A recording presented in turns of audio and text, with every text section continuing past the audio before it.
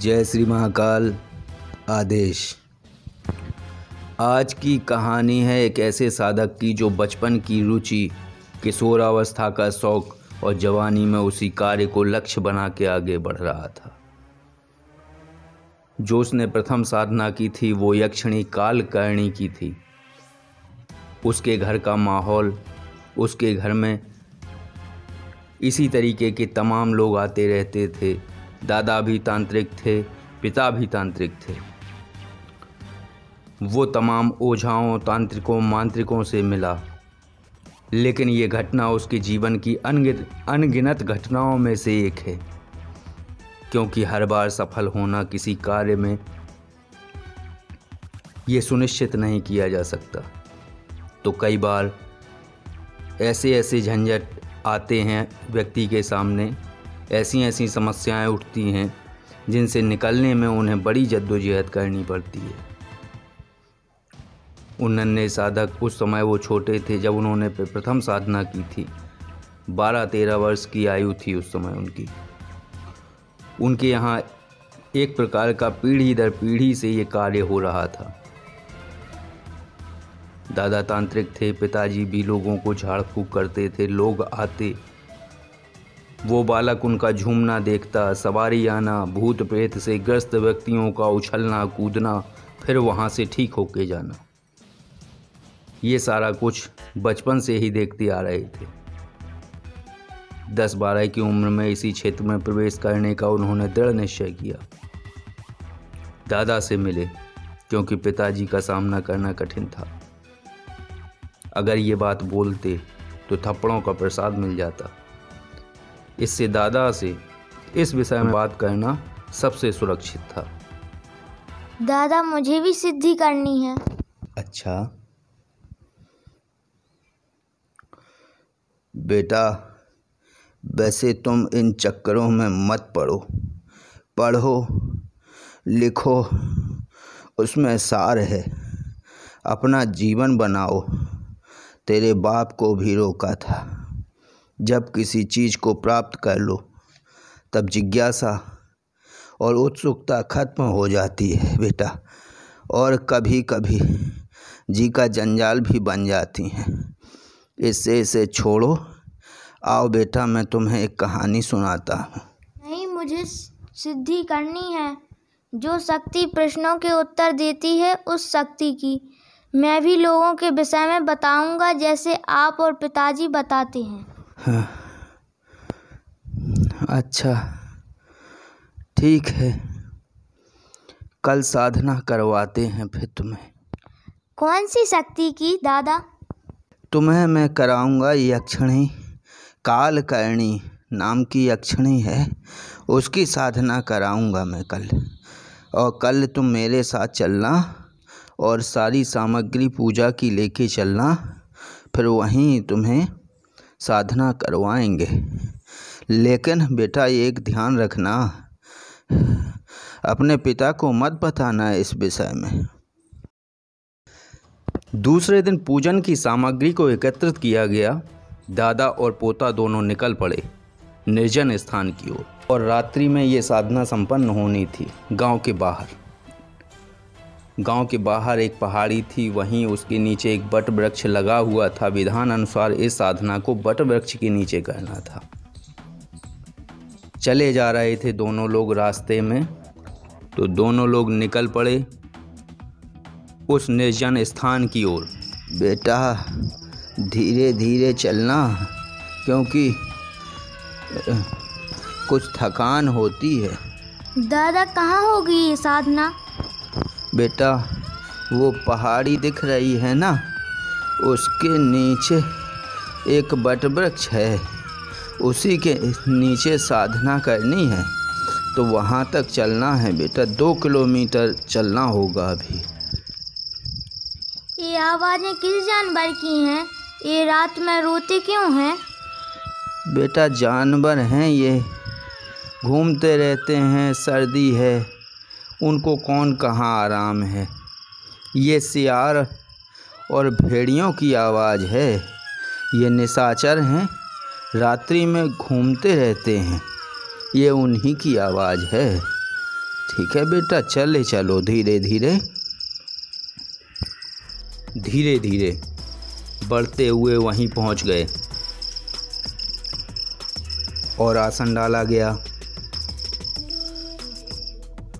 आसन डाला गया, तेल का दीपक जागृत किया गया, वृक्ष के पत्ते पर गुड़ रखा गया। शराब से कुछ मंत्र बोलते हुए दादा ने उस नन्हे साधक के चारों ओर अभिमंत्रित सुरक्षा घेरा बनाया। उसे मंत्र बताया और सारी स्थितियों से अवगत कराया, जो उसके साथ घटित होने वाली थी। बेटा, इस पे आसन पे बैठना और आसन से उठना नहीं है तुम्हें किसी भी स्थिति में, क्योंकि एक पिशाचिनी स्वरूप वाली स्त्री आएगी तुम्हारे सामने। ये कोई और नहीं, वही यक्षिणी होंगी जो तुम्हें डराने की पूरी कोशिश करेंगी। अगर तुम डर गए तो तुम्हारी साधना असफल हो जाएगी। बेटा, डरना नहीं है। उन्हें अहोभाव से प्रणाम करना है और एक पत्ते पर गुड़ रखा है, उसको नहीं, जो दूसरे पत्ते पर दूध की मलाई रखी हुई है, ये अर्पित करनी है तुम्हें। और अगर उन्होंने उसे जीभ से चाट लिया तो समझो, साधना सफल हो गई तुम्हारी। नहीं तो दोबारा से करनी होगी। ठीक है? ध्यान रखना। ठीक है कोई भी आए मैं नहीं उठूँगा दादा। हाँ बेटा बिल्कुल नहीं उठना है और ये प्रसाद ज़रूर अर्पण करना है जो कि वो जीभ से स्वयं चाट लेंगे उस पत्ते के ऊपर से। ठीक है जैसे ही वो आएँगे मैं ये प्रसाद अर्पित कर दूँगा। ठीक है बेटा तुम जाप शुरू करो और मैं उस वृक्ष के नीचे बैठा हूँ। देखो ये उतनी दूर दिख रहा है तुम्हें ना? दिख रहा है ना? हाँ। हाँ तो वहीं बैठा हूँ मैं। डरना नहीं। पाठ जाप अपना प्रारंभ करो। और जैसे ही वो आएँगी कुछ आवाज़ें भी होंगी पत्तों की खड़खड़ाने की। घबराना नहीं है। ये पहले पत्ते खड़केंगे फिर वो आएँगी। और तेज़ आवाज़ भी करेंगी। बिल्कुल डरना नहीं, अपना पाठ करो, मैं बैठा हुआ हूँ यहीं पे।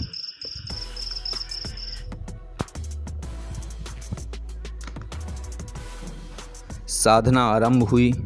उस नन्हे साधक के मंत्र वहाँ गूंज रहे थे। एक घंटे के बाद बट वृक्ष पर ऐसी आवाज़ें आने लगीं जैसे सैकड़ों बंदर उछल कूद मचा रहे हों। फिर आवाज़ें आनी बंद हो गईं। ये स्थिति 20 मिनट रही। फिर किसी की हँसी गूंजी।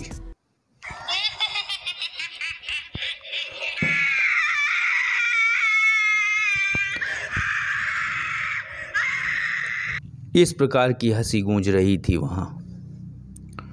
लेकिन बच्चा, वो नन्हा साधक, अपनी जगह यथा स्थिति बैठा रहा।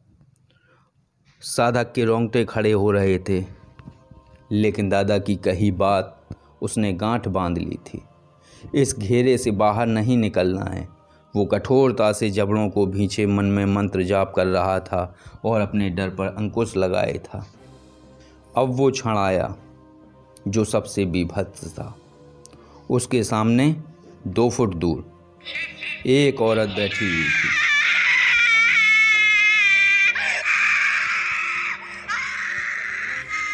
उसके सामने बस यही चीत्कार करने लगी। बड़ी भयानक बाल बिखरे हुए, अर्धनग्न श्याम वर्ण मुस्कुराना ऐसा देखे तो कोई प्राण निकल जाए उसके। वो अट्ठहास कर रही थी। अट्ठहास रुका, उसने अपनी जीभ निकाली, जो किसी नांग की भांति लहरा रही थी।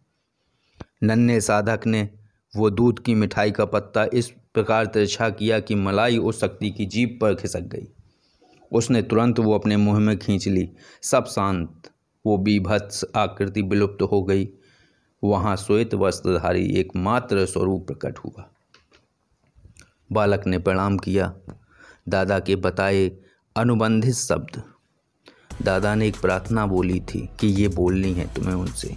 और वो जब तथास्तु कह दें तब ये मानना कि तुम्हारी साधना सफल हुई। तो वो जो अनुबंध वाले शब्द थे, वो जो वाक्य थे, वो उसने दोहराए। और शक्ति की तरफ़ से उसे तथास्तु कहा गया। शक्ति से उस बालक का अनुबंध हुआ। फिर वो शक्ति विलुप्त हो गई।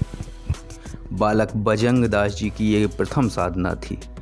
एक दिन में ये साधना संपन्न हुई और सफल भी। ये सानिध्य द्वारा ही संपन्न हुआ।